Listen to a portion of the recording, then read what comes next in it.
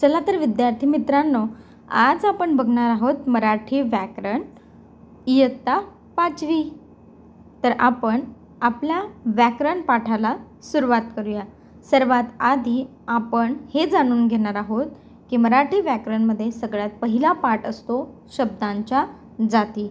यावरच पूर्ण व्याकरण डिपेंड असतं. तर चला मग याचा डीपली अभ्यास करूया. शब्दांच्या जातीबद्दल समजून घेण्यापूर्वी आपण वर्ण अक्षर आणि शब्द आणि वाक्य यांच्याबद्दल आपण डीपली माहिती घेणार आहोत. त्यानंतरच आपल्याला शब्दांच्या जाती काय असतात कशा असतात आणि कोणता प्रकार कशा प्रकारे वापरला जातो हे त्यानंतर तुम्हाला अगदी सहज पद्धतीने समजण्यात सोपंच आहे तर बघूया वर्ण अक्षर शब्द आणि वाक्य. तर सर्वात पहिले वर्ण म्हणजे काय? तर मुखावाटे निघणाऱ्या मूळ ध्वनींना वर्ण असं म्हटलं जातं. म्हणजेच काय? आपलं तोंडातून जे ध्वनी निघतात तर त्या ध्वनींनाच आपण वर्ण म्हणतो. जसं की क हा एक ध्वनी आहे तर हा वर्ण म्हटला जातो. आणि अक्षरांना ध्वनी चिन्ह म्हणतात. जे वर्ण आपण लिहितो तर ती जी अक्षरं काढतो आपण तर त्या अक्षरांना त्या ध्वनिचिन्ह असं म्हटलं जातं. शब्द. शब्द हा वाक्यातील महत्त्वपूर्ण घटक असतो. म पग पतट सरग यामध्ये काही अक्षरं व काही शब्द आहेत. पण त्यांचा काही अर्थ लागत नाही आहे का? तर तो जर आपण असं लिहिलं मी कमल मगर बबन रोहित हे अक्षरं किंवा शब्द वाचले तर त्यांचा काहीतरी अर्थ समजतो. म्हणजे काय? तर अर्थपूर्ण अक्षरांचा समूह म्हणजे शब्द असतो. जर आपण अक्षरांना व्यवस्थित नाही लावलं अर्थपूर्ण पद्धतीने नाही लावलं सहज कोणतंही अक्षर उचलून त्याच्यापासून कोणताही शब्द तयार केला ज्याचा काही अर्थच लागत नाही तर त्याला आपण शब्द म्हणू शकत नाही. कारण त्या तो जो शब्द असतो त्यात तो अर्थपूर्ण अक्षरांचा समूह नसतो. म्हणून शब्द म्हणजे काय? अर्थपूर्ण अक्षरांचा समूह म्हणजेच शब्द. आता बघूया. वाक्य म्हणजे काय? तर अर्थपूर्ण शब्दांचा समूह म्हणजे वाक्य.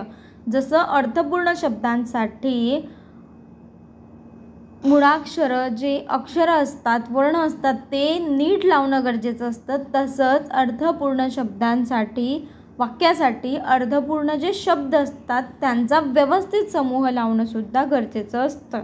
जसं उदाहरणार्थ मी शाळेला जातो. हा काय झाला? तर अर्थपूर्ण शब्दांचा एक समूह झाला. त्यालाच आपण काय म्हणतो? वाक्य.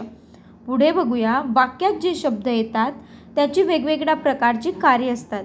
त्यांच्या कार्यावरून त्यांना वेगवेगळी नावे दिली जातात.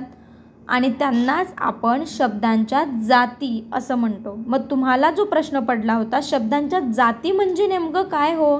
तर वाक्यात जे काही शब्द येत असतील ते वेगवेगळ्या प्रकारचे असतात. त्यांची कार्य वेगवेगळी असतात. आणि त्या कार्यावरूनच त्यांना वेगवेगळी नावं दिले जातात आणि तेच असतं शब्दांच्या जाती. तर शब्दांच्या जाती या आठ प्रकारच्या असतात. त्या कोणत्या असतात? कशा प्रकारे त्याच्यामध्ये भाग पाडले जातात हे आपण पुढे बघणारच आहोत.